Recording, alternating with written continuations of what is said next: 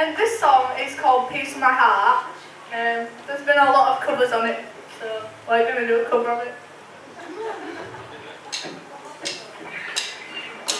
it.